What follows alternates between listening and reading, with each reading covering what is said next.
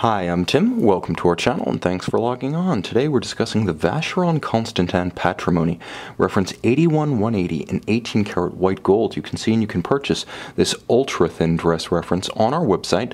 Subscribe to this channel if you enjoy these videos and please click on the card in the upper right hand corner of the screen.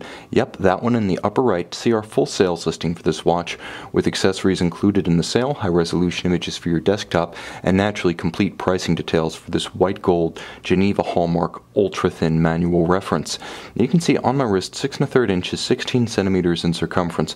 The watch has a modern diameter of 40 millimeters. This isn't the traditional size for a dress watch, however, it is supremely traditional in its proportion of dial to bezel, bezel to lugs, and thickness, which is only 7 millimeters, and you can see the generous domed slope of that sapphire and bezel. The watch wears relative to a tight cuff even thinner than its 7 millimeter thickness. Now from lug to lug it's quite manageable. 45.5 millimeters is the span across the wrist, meaning that this timepiece can be worn with perfect proportion and elegance.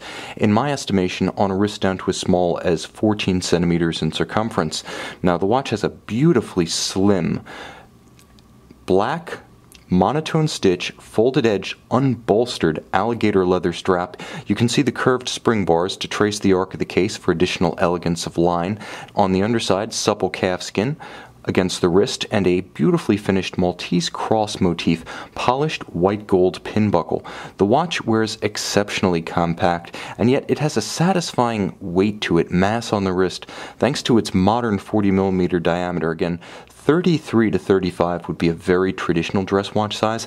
This is neither undersized nor oversized, but right sized. And when I talk about the mass of the watch, I do mean mass. With a full solid case back made of 18 karat white gold, it has more heft than you would expect. Now you may ask, why is there a solid case back on a watch with a Geneva Hallmark caliber? And the simple reason is to get the watch this thin and yet make it durable and water resistant to 3 ATM, a solid case back is necessary. But in the ultimate perhaps signature of integrity that a brand can give to a client, the watch is artisanally finished internally to Geneva Hallmark standards and only your watchmaker will ever see it. So it's there because it's the right thing to do, it's the traditional way to do it. But again, structural considerations warrant a full white gold caseback.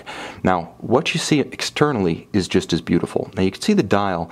It's silver, yes, and it's a matte finish, but there's something that's perhaps remarkable about this silver dial that is not universal to the type, and that is that this one has a slight cream tint to it. It's almost like a natural eggshell color with its soft granular surface and that slight off-white. Now, the off-white tone makes it more elegant and more distinct from the indices, the hands, and the bezel. White and white and white can quite simply whitewash a watch. You want to be able to say that there is some contrast, some tonal variation, and silver with white gold hands and indices and a white gold case sometimes overwhelms, sometimes seems sterile.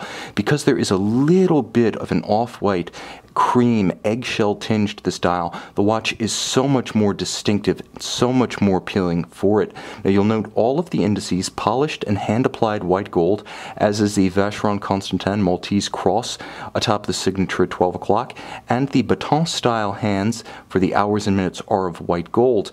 Now, of course, you ask, what is the difference between the Patrimony and the Traditionnel lines? The easiest way to tell is always that the Traditionnel has the Dauphine style hands, and on the Patrimony, you have this more traditional vintage inspired baton style. And the watch is definitely inspired by Vacheron watches of the mid 20th century, considered to be the heyday of the ultra thin men's dress watch.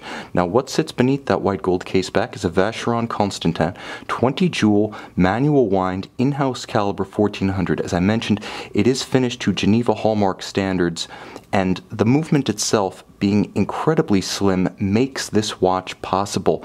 With a 40 hour power reserve, you'll enjoy your daily interaction winding the timepiece, and significant for any high end manual movement, the quality of the crown in the hand, the tactile feedback is superb, creamy with just enough detents of the ratchet wheel as you wind it to full power. You can see and you can purchase this ultra thin Vacheron Constantin Patrimony on our website.